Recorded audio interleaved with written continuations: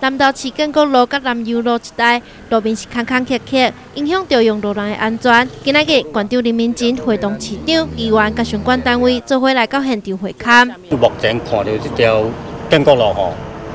事实害的程度，咱大家拢看会到啦。啊，这条的出入吼，南投高中的囡仔无大经过文化中心，南投国华的囡仔吼，拢爱伫遮出入上大。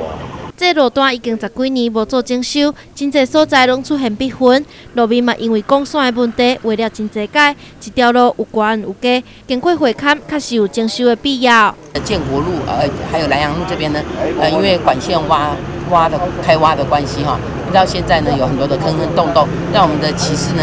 呃，骑在这个路上或者是说开车呢，都觉得非常不平稳，而且甚至有在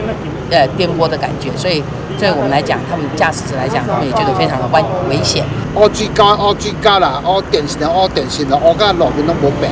啊，即摆咱的交通部吼真重视这路平专案啦。啊，所以咱县政府啊，嘛要配合咱中央特别过吼，诶，争取吼，啊，差不多达八百几万啊，啊，要甲这两条路路面吼，甲敲起来，啊，搁电风扇、防风平。南投市长宋怀林在会勘的时阵嘛指出，希望县政府会当甲公线单位协调，铁路做好了后，至少一年来，卖搁再挖路，可化维持道路的品质。希望我们的管线单位跟我们来配合，不要说我们做好了以后呢，马上就来动这些路啊。这个我我相信施工所还有我们的县政县政府的立场是一致的。那么希望说大家重视我们这个用路人的这个安全，大家一起来努力，让我们的路会更好。